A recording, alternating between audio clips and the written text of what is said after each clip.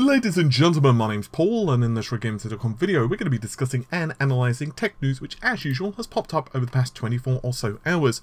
We're going to be starting things out with AMD, specifically the fact that the company have confirmed that their roadmaps are on schedule, including the fact that the Zen 2 processors will be built on a 7nm process and their design is complete, and next-gen 7nm plus GPUs will be hitting store shelves by 2020. On addition to that, AMD's Zen 5 will be based on a 3nm process, according to rumours from Global Foundries. And staying on the topic of AMD, you might recall the Spectre Next Generation flaw, which was discovered, which was confirmed to affect Intel processors. And now we have updated information that AMD are not affected by this particular flaw. So this, at least for now, means they are in the clear. And then we're going to finish the video off with Samsung because the company plan to become even more of a dominant player in the cell phone market by providing chips to rival cell phone manufacturers including ZTE or ZTE depending on which you want to pronounce it. Of course AMD have been rather busy with announcements over the past couple of days, including the fact that second generation Ryzen Threadripper CPUs are now starting to sample, and the announcements for the Ryzen Pro Enterprise APUs. Just as a quick refresher, it looks like the Threadripper 2000 series, which no doubt will be headlined by the 16-core Threadripper 2950X, will undergo many of the same optimizations as the Zen Plus architecture, so of course this means latency optimizations and higher clock speeds. If you want more information on that, there is of course a video from a day or two ago which you can check out.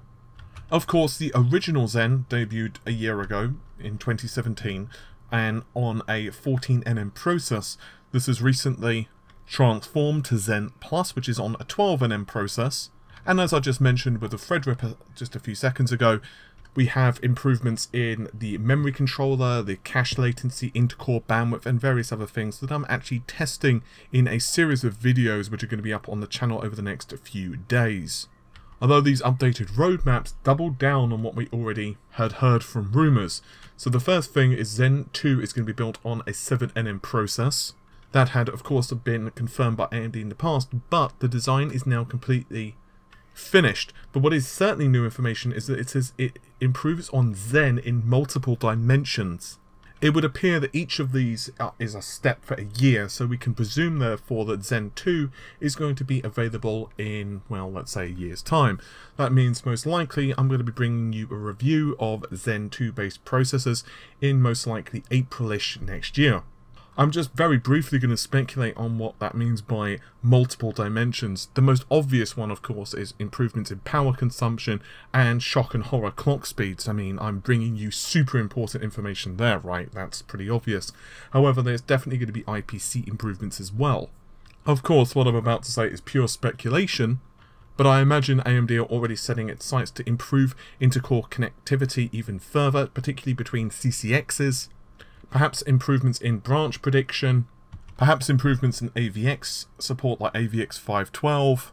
It's also slightly possible that we could see improvements by way of increased cache, possibly integer units, floating point operations, and so on. But of course, all of this is pure speculation at this point, so it would probably be slightly outside the remit of this video to continue.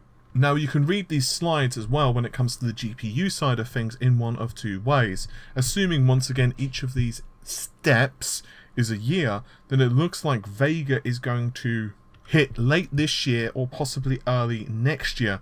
It does tell us that the design is complete. Of course, Vega 14nm is the current product. My guess is, however, that we're not going to see Navi slip much later than say the midpoint of 2019. Discussing Vega for a second, from what we understand, it still has 64 compute units, that means of course 4096 shaders.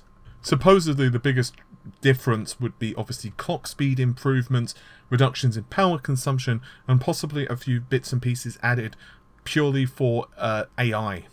There's a lot of discussion whether we're going to see some trickle-down effect from Vega 7nm to the regular consumer market, Honestly, and this is me purely speculating, this is certainly not an official rumour, but I wouldn't be surprised if we saw one of a couple of things happen.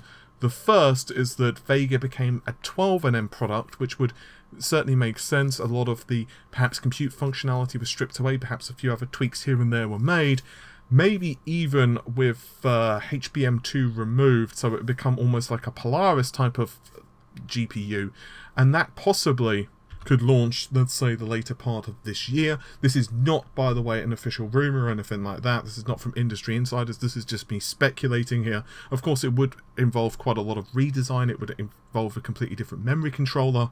But one of the problems at the moment with Vega, there's a couple of issues. One is the expensive nature of HBM. And the second, of course, is power consumption. One of the reasons that Vega is using HBM is because it hoovers down a lot of power. This could possibly be fixed, however, on a 12nm process, but how much we don't know. But we do know, of course, GDDR6 is better in terms of power consumption, so possibly the two could somewhat cancel each other out with some other optimizations here and there, perhaps a couple of 100 megahertz bumped up for the clock speed. But of course, all of this is speculation. The other possibilities, we would see 7nm for GPUs for, you know, gaming, but I'm not 100% convinced on that. I imagine it would be quite expensive, but of course we don't know what the yields are. Obviously, all of that is pure speculation. Navi, however, does appear to be on track. It's going to be in 7nm. One thing we do know is that it appears that Navi is going to have almost like a Zen-like design. In other words, it's going to be scalable. This essentially means it's going to be built in almost blocks, and therefore you can simply piece them together depending on the size and complexity and performance of the GPU. I'm in danger of repeating myself from about a week ago, but don't forget Nvidia have actually conducted various simulations on their own GPU architectures, and it was found that if they did create a modular based GPU, in other words, very similar to let's say how Intel and AMD are producing their CPUs right now, they could produce a CPU, uh, sorry, a GPU which is considerably more uh, uh, better in terms of performance, requires less power than any singular monolithic design that they can produce right now and even scales better than SLI. I also released a video uh, a couple of days ago where I did an analysis of the next generation AMD architecture and it appears to be based on a super SIMD type of uh, construction. I don't want to go too deep into it in this video because I'm going to eat up way too much time. If you do want more information on that, you can check it out in the video description, or you can simply search for it on the channel. It was only released a couple of days ago. But essentially what we have there is a almost well assuming that does turn out to be the architecture and it has been filed as a patent that's official so it looks like the super SIMD type of GPU is going to be a cross between what we have currently with the stream processor technology also known as single instruction multi-data that's essentially what the architecture is and of course their previous GPUs before that which would have been like the HD 6000 series they were based on VLIW, very long instruction word. Originally it started out as VLIW5 uh, and then that was subsequently changed to VLIW4. And from once again those patents, it would appear that AMD are going kind of like a cross between the two. In theory, this would drastically improve performance for gaming workloads and also compute-based workloads. It would almost be like the best of both worlds. Very brief synopsis right now for those who missed that video, and I would once again encourage you to check it out. But SIMD is really good for compute-based workloads. The problem is, however, gaming workloads, the size of the actual die itself, the power consumption, all that stuff goes considerably higher but with VLIW it's not so good for compute orientated functions and obviously we're now starting to get into the era where compute orientated functions even in games is becoming pretty well synonymous with design therefore it requires a lot of optimization from the compiler and that's one of the reasons that AMD tweaked this. We also have news and slightly um, going back on ourselves to the CPU side of things, but I did want to separate them from stuff that had been officially released from AMD and some other comments from the CEO of Global Foundries, who is Tom Caulfield. Hopefully I'm pronouncing that correctly. He mentioned the fact that it appears that AMD are leaning towards the production for AMD Zen 5, just for clarification's sake, AMD are skipping Zen 4. Uh, there's a couple of reasons thought behind this, but one of those is the fact that 4 is an unlucky number in China, and it would just appear that AMD are just skipping that. So just to clarify, there's Zen, there's Zen Plus, there's Zen 2, there's Zen 3, and then they're going straight to Zen 5. So why are AMD skipping this? Well, it really comes down to Global Foundries. Global Foundries are skipping 5nm because they don't feel it's worth the investment. And in fact, he said, and I quote, I don't know if 5nm is enough to make a fabless company invest, that's AMD in this case. They need something as defined as 3nm to get full performance, but we're still looking at what might be the right investment, excuse me, for the next node. And this was according to, once again, Tom Caulfield, who is once again the CEO of Global Foundries, during an interview with EE Times. I also feel it's imperative to remind everyone that processes aren't necessarily the same between companies. Indeed, some chips with different packages, for example APUs, can actually have different processors for different parts. And while I'm vastly simplifying it for the sake of this video, I have actually covered this in depth before. I'll link that in the video description. There is not exactly a standardized way to define a size of a node. Each company, you know, essentially pretty much just makes up as they go along. And in some cases, even if technically stuff is produced at the same size, other tweaks such as FinFET and so on can have a drastic difference. So what I'm essentially saying is you can't necessarily compare Global Foundries to Samsung and Samsung to Intel and so on and so on and so on. On a different subject, and that is Spectre Next Generation, it has been confirmed that AMD are not affected by the Spectre Next Generation flaw, which does affect Intel processors. Intel currently are rolling out patches and they're working on it, and apparently a couple of them are being delayed, but they will be um, released over the next several weeks. It's imperative to know that this is Spectre Next Generation.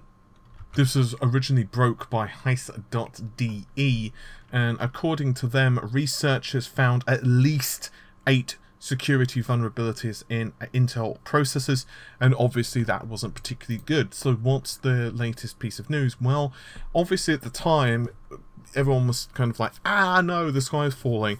What situation are we going to be in? Well, according to AMD, they are not vulnerable. They have done their own independent tests, and it would appear that they have no exposure to the new Spectre next generation risks, which is obviously really good from their perspective.